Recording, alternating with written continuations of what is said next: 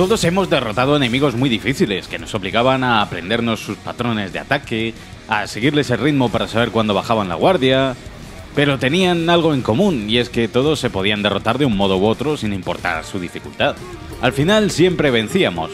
Pero ¿qué pasa cuando no podemos derrotarles? Por supuesto también existen bosses imposibles de derrotar, así como enemigos que hagamos lo que hagamos no sucumbirán entre nuestros disparos o golpes. Hoy, desde Vandal, os traemos los 10 enemigos imposibles de derrotar en los videojuegos.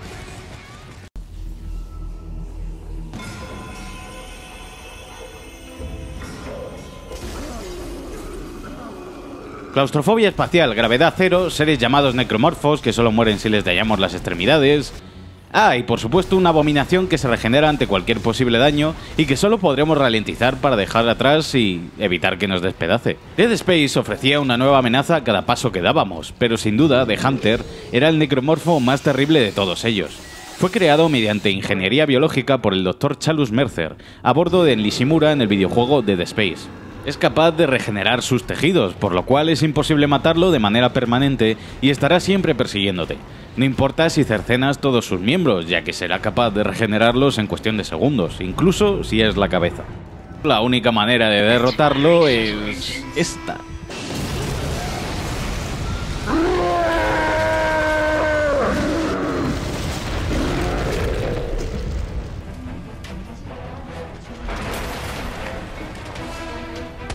No solo es uno de los personajes más famosos de Resident Evil, sino que también es uno de los que más lo está petando este año.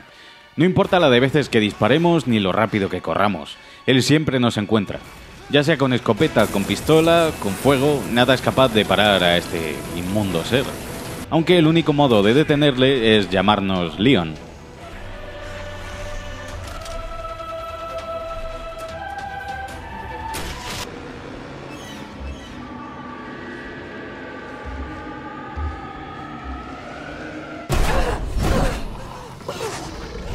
Un enemigo muy duro de pelar, muy persistente y que puso los pelos de punta a muchos cuando salió este título.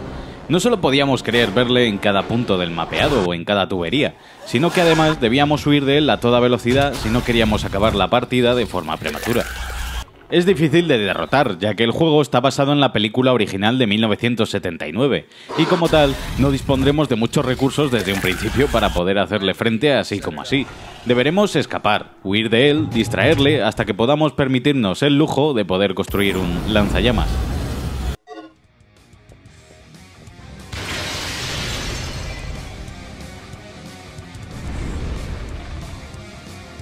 Este pedazo de bicho nos hacía la vida imposible durante el juego Dino Crisis, o al menos impedía que disfrutáramos de cualquier posible momento de relax, si es que lo había.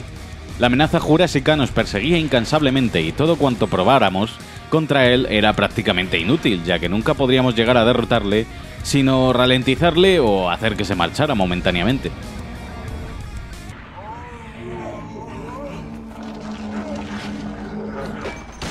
También llamado Cabeza de Pirámide, es el monstruo más mítico de la saga Silent Hill y que aparece por primera vez en Silent Hill 2. Masahiro Ito, el diseñador de las monstruosidades de Silent Hill 2, creó originalmente a una criatura mecánica, con una cabeza en forma geométrica, mientras aún estudiaba en la universidad.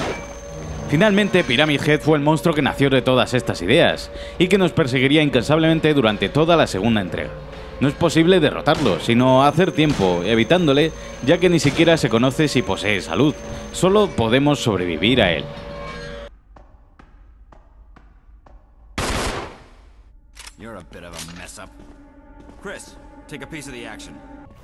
Lisa Trevor de Resident Evil 1 es la hija del arquitecto George Trevor, quien construyó la mansión Spencer. Un combate realmente claustrofóbico y en el que no tenemos ninguna opción contra ella, salvo la de salir de ahí cuanto antes. Finalmente murió en la explosión y destrucción de la mansión Spencer en la primera entrega de la saga, pero como fue una de las creaciones más poderosas de Umbrella, no se puede estar seguro de que haya desaparecido para siempre.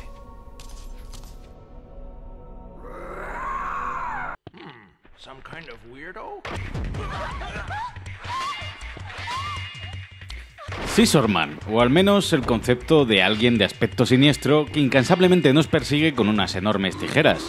Y no, no es que quiera arreglarnos el bajo de los pantalones, sino más bien cortarnos las piernas. Este emblemático enemigo de la saga Clock Tower tiene muchas formas, aunque generalmente no podremos derrotarle como en anteriores ejemplos y solo podremos escondernos o huir de él. Aunque sí que es verdad que en la tercera entrega de Clock Tower la cosa cambia y podremos enfrentarnos a dos bosses llamados Scissor Man y Scissor Woman, aunque no son tan intimidantes.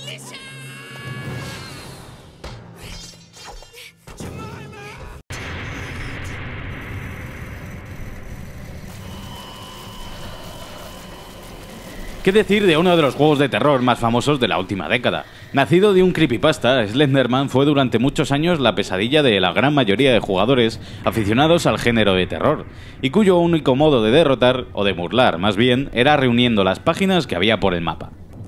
Aunque, bueno, llegado el momento, si te centras en los objetivos y te acostumbras a su presencia, al final no supone ninguna amenaza, pese a no poder derrotarle o hacerle frente.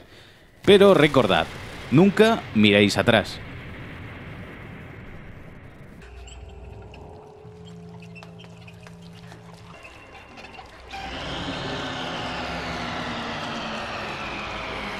Los chivitos son los principales enemigos que encontraremos en Forbidden Sire. El término shibito designa a los cadáveres reanimados por fuerzas sobrenaturales, aunque al contrario que los zombies poseen inteligencia y personalidad, así como la capacidad de evolucionar o adaptar diversas formas. Son realmente asquerosos, tétricos y pondrán a prueba nuestra capacidad de poder gestionar tanto terror en nuestras venas y lidiar con ellos en lugares cerrados e igual de siniestros. Terror japonés en estado puro.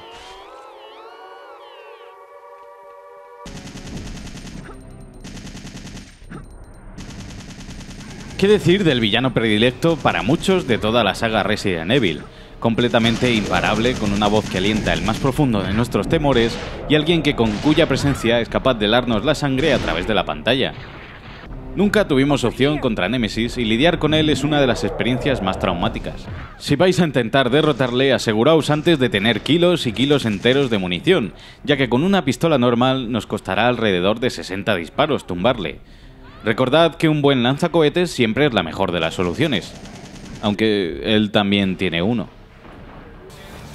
Estos han sido algunos de los enemigos más imposibles de derrotar en los videojuegos, o al menos más persistentes y que más quebraderos de cabeza nos han dado.